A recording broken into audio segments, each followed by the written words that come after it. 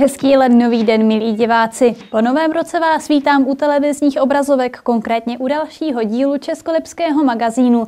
Tentokrát jsme si pro vás připravili přehled nejdůležitějších investic města na letošní rok. Teď vám ale představíme aktualitu v podobě připraveného rozpočtu na rok 2021. Konec každého roku znamená pro všechna města řadu povinností. Mezi ně patří také schválení rozpočtu na nadcházející rok. Česká lípa se letos rozhodla pro variantu schodkového rozpočtu.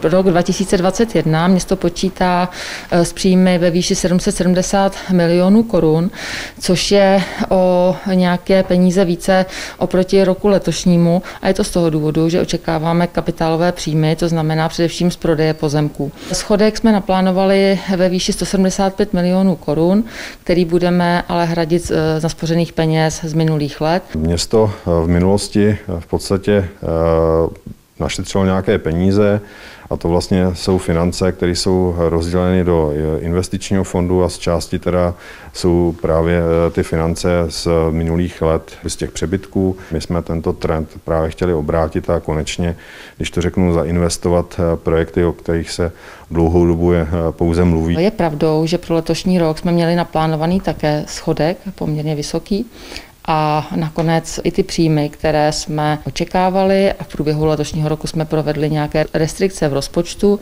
tak nakonec eh, to vypadá, že budeme možná hospodařit buď na nule, anebo možná i s nějakým mírným přebytkem.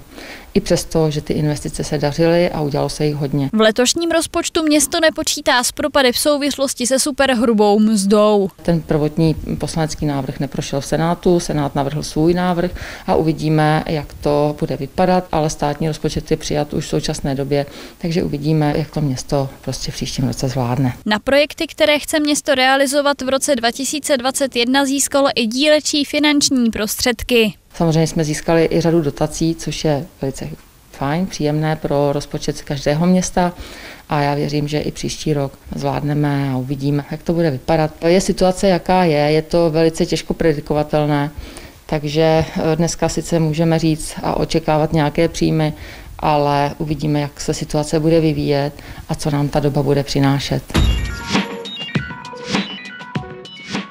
Je na čase se společně podívat na investice, které Česká lípa na letošní rok připravila. Které z nich jsou pro město nejdůležitější, se dozvíte právě teď. Na letošní rok Česká lípa naplánovala investice, které jsou důležitou součástí plánu rozvoje města. Tomu přizpůsobila právě i rozpočet. Naplánovali jsme řadu investic, které jsme naplánovali ve výši 300 milionů, což je o 50 milionů větší částka než pro rok 2020, což je potěšující. A úspory jsme především hledali ve výdajích, takže doufáme, že se všechno podaří a ty velké započaté investice budeme moct dokončit. Podle města je v letošním roce nejzásadnějším projektem modernizace Jiráskova divadla za 160 milionů korun.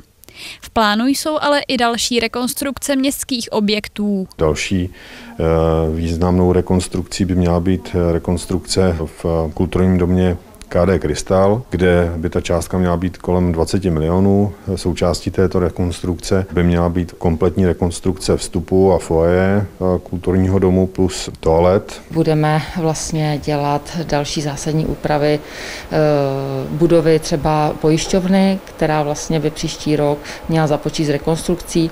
Takže doufáme, že město Česká Lípa bude investovat a všechno ustojíme. Zainvestovat chce Česká Lípa také do tamního kina. Kdybychom chtěli příští rok eh, zakoupit eh, nový promítací systém, který vlastně by nahradil ten současný, který už je zastaralý a v podstatě tato investice je v řádu milionů, ale určitě si myslím, že to návštěvníci kina určitě ocení, protože v podstatě by tam měla jít ta nejmodernější promítací technologie. Mimo jiné se město letos zaměří také na modernizace a rekonstrukce škol. Chce například dokončit opravu základní školy na Ladech. Měli bychom vlastně eh, začít rekonstruovat eh, školku na Výsluní, pak měli bychom dále pokračovat v rekonstrukci hřiště u základní školy Jižní. Pak další vlastně investicí měla být oprava střechy základní školy eh, Tyršovy. Česká lípa nezapomněla ani na rekonstrukce některých městských silnic a výstavbu chodníků.